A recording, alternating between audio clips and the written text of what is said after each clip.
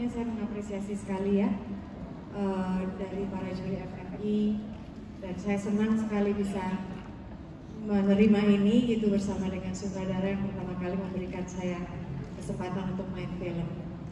Luki Kuswandi. Pengalaman yang luar biasa main di Ali dan Ratu Queens.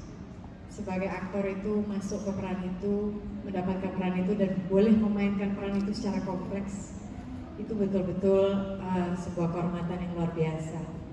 Jadi saya sangat-sangat sangat-sangat bersyukur atas uh, penghargaan ini.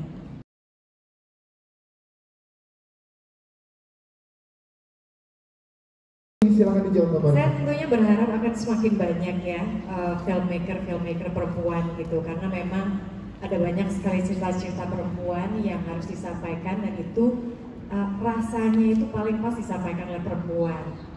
Uh, bukan masalah apa gitu ya, karena cara pandang perempuan dan laki-laki itu jelas berbeda. Uh, jadi sekarang kan kita sudah punya salah satunya Kamila Andini yang uh, membawa film Yuni. Saya sangat bahagia sekali bisa terlibat di situ. Uh, ketika diminta untuk audisi memerankan peran guru pula. Saya kan dulu juga pernah jadi guru bahasa Inggris gitu loh. Jadi uh, untuk mendalaminya itu ya uh, bisa cukup dimudahkan kecuali harus belajar jaseng. Saya terima kasih sekali sama komunitas bahasa jaseng.